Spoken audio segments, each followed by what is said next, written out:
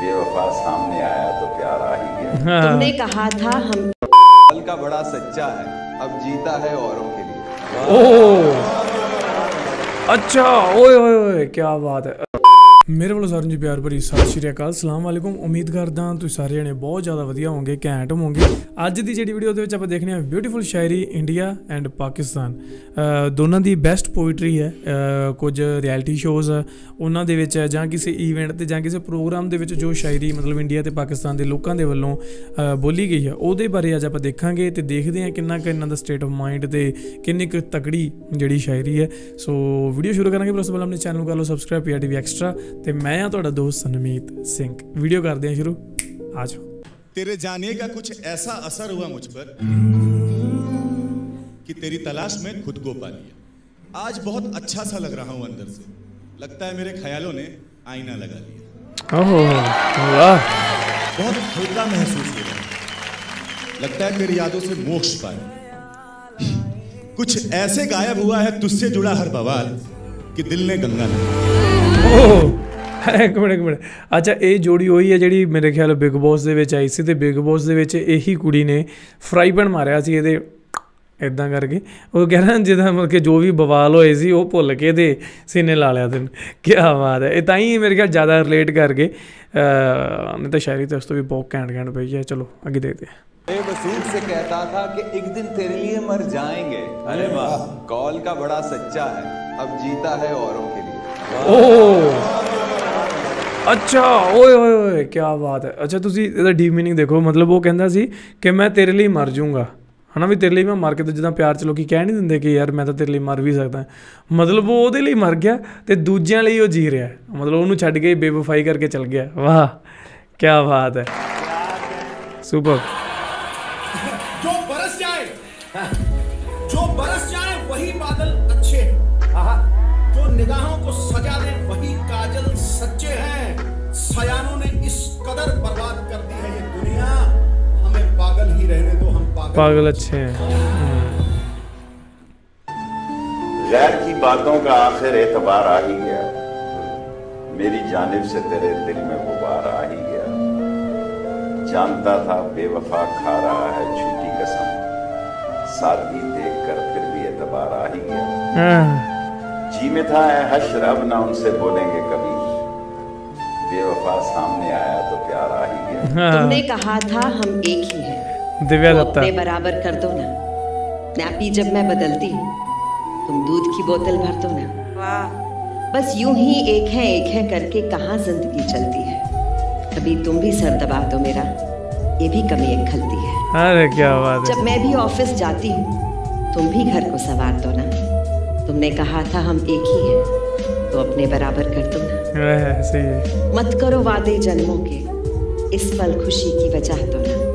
कभी बाजारों से ध्यान हटे तो मकान को घर भी कर दो ना। आओ पास बैठो कुछ बातें करें। कभी दिल के जख्म भी भर दो ना। क्यों कहना भी पड़ता है तुम एहसासों को समझो ना।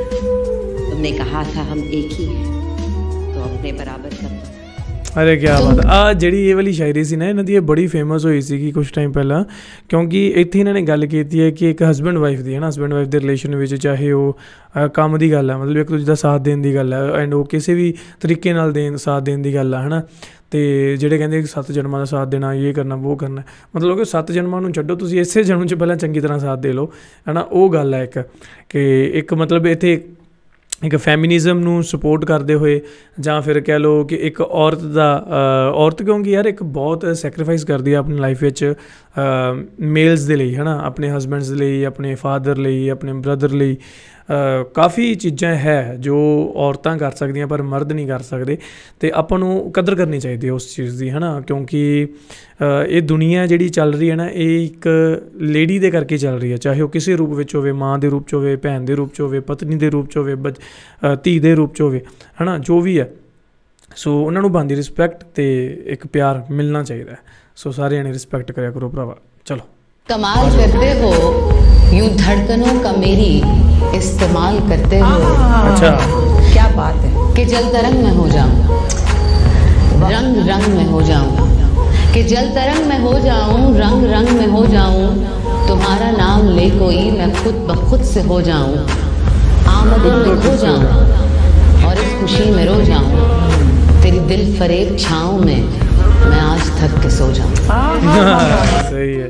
कि हाँ बड़ी सेटिस्फेक्शन वाला शेयर सी गए सा बन के कोई ख्वाब बिखर जाए तो क्या हो?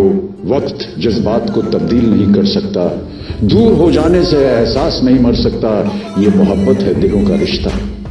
ये मोहब्बत है दिलों का रिश्ता। ऐसा रिश्ता जो सरहदों में कभी तकसीम नहीं हो सकता। तू किसी और की रातों का हँसी चाँद सही। मेरे हर रंग में शामिल तू है। तुझसे रोशन है मेरे ख्वाब मेरी उम्मीदें।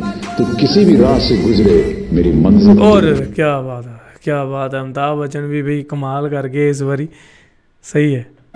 वो लोग बहुत खुशकिस्मत थे जो इश्क को काम समझते थे या काम से आशकी रखते आह वाह। इश्क को काम समझते थे या, या काम, काम से आशकी रखते थे, थे हम जीते जी मसरूफ रहे कुछ इश्क किया कुछ काम किया। काम अरे वाह। के आड़े आता रहा और इश्क से काम उलझता रहा। काम इश्क के आड़े आता रहा और इश्क से काम उलझता रहा।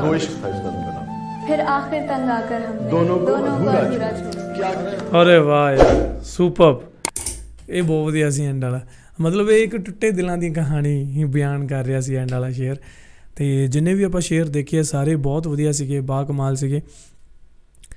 ਅਮਤਾਬ ਬਚਨ ਵਾਲਾ ਖਾਸ ਕਰਕੇ ਦਿਵਿਆ ਦੱਤਾ ਵਾਲਾ ਤੇ ਇੱਕ ਸਟਾਰਟਿੰਗ ਦੇ ਜਿਹੜਾ ਪਹਿਲਾ ਉਹ ਬਿਗ ਬੋਸ ਵਾਲੀ ਕਹਾਣੀ ਤੁਹਾਨੂੰ ਮੈਂ ਥੋੜੀ ਜਿਹੀ ਦੱਸੀ ਸੀ ਜਿਹੜੀ ਉਹ। ਇੱਕ ਆ ਜਿਹੜਾ ਐਂਡ ਤੇ ਆ ਕੁੜੀ ਨੇ ਗਾਇਆ ਮੈਨੂੰ ਨਹੀਂ ਪਤਾ ਇਹਨਾਂ ਦਾ ਨਾਮ ਕੀ ਹੈ ਸ਼ਾਇਦ ਇਹ ਪਾਕਿਸਤਾਨ ਤੋਂ ਹੀ ਨੇ। ਤੇ ਬਹੁਤ ਵਧੀਆ ਸ਼ੇਰੋ ਸ਼ਾਇਰੀ ਕੀਤੀ ਯਾਰ ਮਤਲਬ ਸ਼ੇਰੋ ਸ਼ਾਇਰੀ ਇੱਕ ਇਦਾਂ ਦੀ ਚੀਜ਼ ਆ ਕਿ ਤੁਸੀਂ ਘੱਟ ਸ਼ਬਦਾਂ ਦੇ ਵਿੱਚ ਬਹੁਤ ਜ਼ਿਆਦਾ ਗੱਲ ਕਹਿ ਜਾਂਦੇ ਹੋ, ਬੜੀਆਂ ਡੀਪ ਮੀਨਿੰਗਸ ਵਾਲੀਆਂ ਗੱਲਾਂ ਕਰ ਜਾਂਦੇ ਹੋ। ਆ ਐਂਡ ਵਾਲਾ ਬਹੁਤ ਜ਼ਬਰਦਸਤ ਸੀਗਾ। ਮਜ਼ਾ ਆਇਆ ਸੁਣ ਕੇ। ਇੱਕ, ਸ- ਮਤਲਬ ਦੇਖੋ ਆਪਾਂ ਤਰ੍ਹਾਂ ਤਰ੍ਹਾਂ ਦੇ ਸ਼ੇਅਰ ਦੇਖੇ, ਕੋਈ ਵੀ ਇੱਕੋ ਇੱਕੋ ਨਾਲ ਦਾ ਨਹੀਂ ਸੀਗਾ।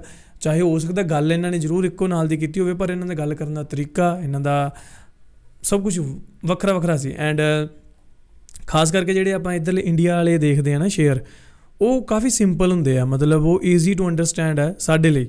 ਬਿਕੋਜ਼ ਜਿਹੜੇ ਪਾਕਿਸਤਾਨ ਵਾਲੇ ਸ਼ੇਅਰ ਆ, ਉਹਨਾਂ ਦੇ ਵਿੱਚ ਥੋੜੇ ਉਰਦੂ ਦੇ ਜਿਹੜੇ ਲਫ਼ਜ਼ ਇਸਤੇਮਾਲ ਕੀਤੇ ਜਾਂਦੇ ਆ ਤੇ ਤਾਂ ਕਰਕੇ ਉਹ ਥੋੜੇ ਆਪਾਂ ਨੂੰ ਡਿਫਿਕਲਟੀ ਹੁੰਦੀ ਆ ਸਮਝਣ ਦੇ ਵਿੱਚ। ਪਰ ਜੇਕਰ ਮੈਂ ਗੱਲ ਕਰਾਂ ਇੱਥੇ ਕੋਈ ਵਰਸਸ ਨਹੀਂ ਹੈਗੇ ਇੰਡੀਆ ਵਰਸਸ ਪਾਕਿਸਤਾਨ ਨਹੀਂ ਹੈ। ਮਤਲਬ ਇਹ ਟੈਲੈਂਟ ਦੋਨਾਂ ਦਾ ਵੱਖਰਾ ਵੱਖਰਾ, ਉਹ ਆਪਣੀ ਜਗ੍ਹਾ ਹੈ, ਆਪਣੀ ਜਗ੍ਹਾ। ਹੁਣ ਨਵਜੋਤ ਸਿੰਘ ਸਿੱਧੂ ਆ, ਉਹ ਬੈਠੇ ਬੈਠੇ ਕਪਿਲ ਸ਼ਰਮਾ ਦੇ ਸ਼ੋਅ ਦੇ ਵਿੱਚ ਸ਼ੇਅਰੀ ਕਰ ਦਿੰਦੇ ਸੀ, ਹਨਾ, ਇੰਨੀ ਘੈਂਟ ਘੈਂਟ ਡੀਪ ਮੀਨਿੰਗ ਵਾਲੀਆਂ ਗੱਲਾਂ ਕਰ ਦਿੰਦੇ, ਕਰ ਜਾਂਦੇ ਸੀ। ਤੇ ਜਿਹੜੀ ਪਾਕਿਸਤਾਨ ਵਾਲੀ ਸ਼ਾਇਰੀ ਹੈ ਨਾ, ਉਹਦੇ ਵਿੱਚ ਇੱਕ ਤਹਿਜ਼ੀਬ ਜਾਂ ਕਹ ਲਓ ਜੋ ਲਫ਼ਜ਼ ਇਦਾਂ ਦੇ ਇਸਤੇਮਾਲ ਕਰਦੇ ਆ, ਤਾਂ ਉਹ ਚੀਜ਼ਾਂ ਆਪਣੇ ਆਪ ਵਿੱਚ ਇੱਕ ਵਧੀਆ ਲੱਗਦੀਆਂ। ਐਂਡ ਜਿਹੜੀ ਮੇਨ ਚੀਜ਼ ਹੈ ਮੇਰੇ ਖਿਆਲ ਸ਼ੇਰੋ ਸ਼ਾਇਰੀ ਆਉਂਦੀ ਉਧਰੋਂ ਆ, ਹਨਾ, ਜੋ ਇੱਕ ਕਹਿ ਸਕਦੇ ਆ ਆਪਾਂ ਜਦੋਂ ਇੰਡੀਆ ਪਾਕਿਸਤਾਨ ਇੱਕ ਸੀ, ਤਾਂ ਜਿਹੜਾ ਕਲਚਰਲ ਐਕਟੀਵਿਟੀ ਸੀ ਜਿਹੜੀਆਂ ਜ਼ਿਆਦਾ, ਉਹ ਪਾਕਿਸਤਾਨ ਚੋਂ ਹੀ ਆਉਂਦੀਆਂ ਸੀ, ਲਾਹੌਰ ਚੋਂ ਆਉਂਦੀਆਂ ਸੀ। ਤਾਂ ਕਾਫੀ ਚੀਜ਼ਾਂ ਜਿਹੜੀਆਂ ਉਧਰ ਰਹਿ ਗਈਆਂ। ਹਨਾ, ਤਾਂ ਜਾਂ ਉਧਰ ਲੈਂਦੀ, ਇੱਧਰ ਰਹਿ ਗਈਆਂ। ਕਾਫੀ ਕਲਚਰ ਹੈ ਜਿਹੜਾ, ਪੰਜਾਬੀ ਕਲਚਰ ਮੇਨਲੀ ਉਧਰ ਰਹਿ ਗਿਆ ਸਾਰਾ। ਹਨਾ, ਇੱਧਰ ਬਹੁਤ ਘੱਟ ਆਇਆ।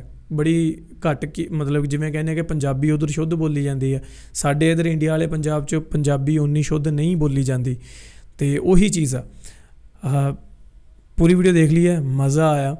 ਇੰਡੀਆ ਦੇ ਵਿੱਚ ਵੀ ਬਹੁਤ ਵੱਡੇ ਵੱਡੇ ਹੈਗੇ ਆ ਪੋਇਟ ਜਿਨ੍ਹਾਂ ਦੀ ਪੋਇਟਰੀ ਬਹੁਤ ਅੱਛੀ ਅੱਛੀ ਹੁੰਦੀ ਹੈ। ਬਹੁਤ ਵਧੀਆ ਵਧੀਆ ਹੁੰਦੀ ਹੈ ਐਂਡ ਬੜੇ ਕਵੀ ਸੰਮੇਲਨ ਹੁੰਦੇ ਆ, ਬਹੁਤ ਵੱਡੇ ਪੱਧਰ ਤੇ ਹੁੰਦੇ ਆ ਤੇ ਉੱਥੇ ਬੜੇ ਲੋਕੀ ਜਾ ਕੇ ਸੁਣਦੇ ਆ, ਦੇਖਦੇ ਆ ਵੀਡੀਓਜ਼ ਬਹੁਤ ਵਾਇਰਲ ਹੈ। ਪਰ ਆਪਾਂ ਮੋਸਟਲੀ ਜ਼ਿਆਦਾ ਮੈਂ ਪਾਕਿਸਤਾਨ ਦੀ ਜਿਹੜੀ ਸ਼ਾਇਰੀ ਸੁਣੀ ਹੈ ਇੰਡੀਆ ਦੀ ਸ਼ਾਇਰੀ ਮੈਂ ਉਨੀ ਨਹੀਂ ਸੁਣੀ ਜਿੰਨੀ ਪਾਕਿਸਤਾਨ ਦੀ ਸੁਣੀ ਹੈ। ਤੇ ਪਰ ਮੈਂ ਅੱਜ ਦੋਨਾਂ ਦੀ ਦੇਖੀ ਐਂਡ ਇਹਦੇ ਵਿੱਚ ਕੋਈ ਵੀ ਮੇਰੇ ਖਿਆਲ ਕੋਈ ਪੱਕਾ ਸ਼ਾਇਰ ਨਹੀਂ ਸੀਗਾ as a as a profession ਕੋਈ ਸ਼ਾਇਰ ਨਹੀਂ ਸੀਗਾ। ਇਹ ਸਾਰੇ ਆਰਟਿਸਟ ਸੀ ਮੋਸਟਲੀ ਚਾਹੇ ਅਮਤਾਬ ਬਚਨ ਹੋਣ ਦਿਵਿਆ ਦਿੱਤਾ ਹੋਵੇ ਜਾਂ ਉਹ ਪਹਿਲਾ ਵਾਲਾ ਮੁੰਡਾ ਸੀ, ਮੈਨੂੰ ਨਾਮ ਨਹੀਂ ਯਾਦ ਆ ਰਿਹਾ ਉਹਦਾ। ਇੰਡੀਆ ਵਾਲੇ ਤਾਂ ਮੈਨੂੰ ਪਤਾ, ਪਾਕਿਸਤਾਨ ਵਾਲਿਆਂ ਦਾ ਵੀ ਮੇਰੇ ਖਿਆਲ ਜ਼ਿਆਦਾਤਰ ਉਹ ਆਰਟਿਸਟ ਹੀ ਨੇ, ਕੋਈ ਵੀ ਸ਼ਾਇਰ ਨਹੀਂ ਸੀ, ਇੱਕ ਅੱਧਾ ਸ਼ਾਇਦ ਹੋਵੇ ਜਿਹੜਾ ਪ੍ਰੋਫੈਸ਼ਨ ਦੇ ਤੌਰ ਤੇ ਮਤਲਬ ਸ਼ਾਇਰ ਨੇ। ਪਰ ਇਹਨਾਂ ਨੇ ਇੱਕ ਵਿਦਆਊਟ profession ਵੀ ਇਹਨਾਂ ਦੀ ਜਿਹੜੀਆਂ ਸ਼ੇਰੋ ਸ਼ਾਇਰੀ ਸੀ, ਬੜੀਆਂ ਡੀਪ ਮੀਨਿੰਗ ਸੀ, ਮਜ਼ਾ ਆਇਆ। ਤੁਹਾਨੂੰ ਕਿਦਾਂ ਲੱਗਾ? ਨੀਚੇ ਕਮੈਂਟ ਕਰਕੇ ਦੱਸਿਓ। ਜਾਣ ਤੋਂ ਪਹਿਲਾਂ ਚੈਨਲ ਕਰ ਲਓ ਆਪਣਾ ਸਬਸਕ੍ਰਾਈਬ ਪੀਆਰਟੀਵੀ ਐਕਸਟਰਾ ਮਿਲਦੇ ਹਾਂ ਕਿਸੇ ਹੋਰ ਵੀਡੀਓ 'ਚ, ਤਦ ਤੱਕ ਮੈਨੂੰ ਦਿਓ ਇਜਾਜ਼ਤ। ਸਤਿ ਸ਼੍ਰੀ ਅਕਾਲ।